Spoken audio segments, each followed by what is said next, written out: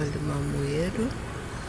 Segundo ano, eu tirei a primeira haste, olha, a segunda haste já chegou na altura do meu quarto e já tem toda essa produção Olha o mamoeiro, segunda-feira de carnaval, olha, tá cheia de hastes. Eu não sei não, olha. E um monte de cabeça. ali. Não sei se tá certo deixar isso aí, ó. Mas tá bonito, né? Tô deixando.